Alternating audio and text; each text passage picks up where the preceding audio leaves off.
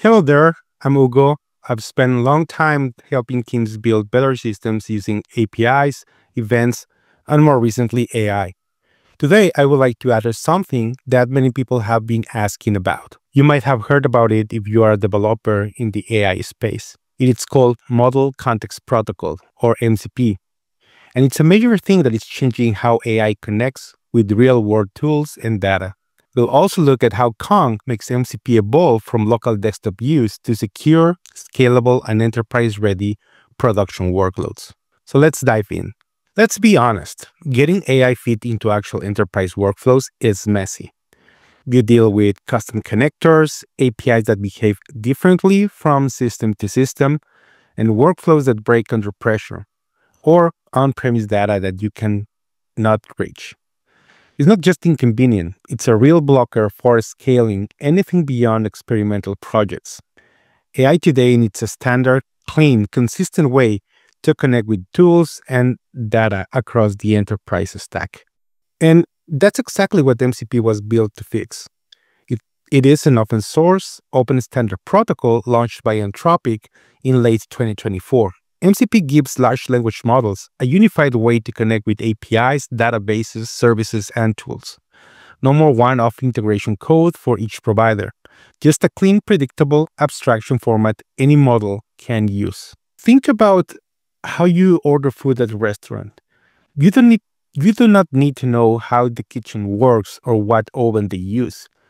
You just look at the menu, pick what you want, and wait for it to arrive. MCP works the same way for AI. The tool or capabilities like the dish name, the input and output schemas are the ingredients, and the cost, latency, and limits, well, that's the price on the menu. The AI doesn't need, does not need to know to see the backend or talk to the chef. It just needs to know what's available and how to ask for it. And just like a good menu works across any restaurant, MCP scales across platforms.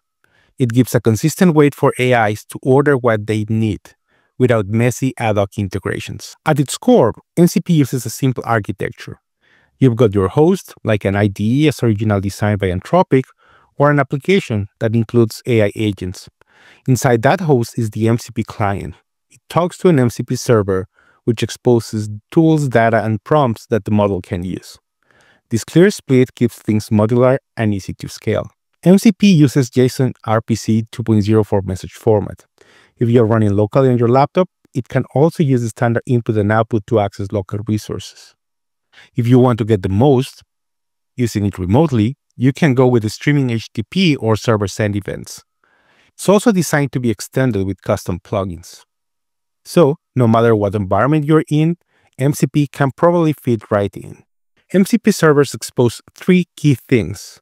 Resources for context data like files or databases, tools for actions like APIs or workflows, and prompts to shape model behavior. On top of that, you get controls for discovery, logging, and capability negotiation. So the model gets the context and you stay in control. You can use MCP locally for things like accessing files or Git repos on your laptop, just like Claude Desktop originally does. Or you can go remote and connect your AI agents and applications to GitHub, Google Drive, even Slack.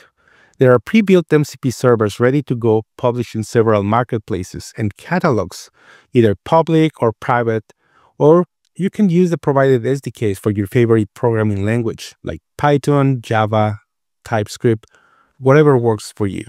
MCP is moving forward from just theory. Major players are backing it. OpenAI, DeepMind, Microsoft, even Docker, they're all exploring it.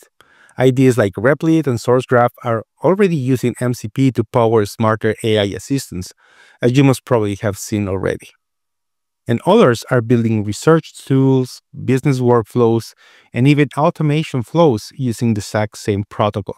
Now, like any new protocol, MCP still has room to grow. It's evolving fast, but it's missing some things to make it production and enterprise ready as it is. Things like first-class workflow support, better tool selection logic, and more polished and robust security features to access systems that are beyond your laptop. Those gaps are commonly overlooked in a prototype, but not in a business critical production system as you are building. This is where Kong steps in.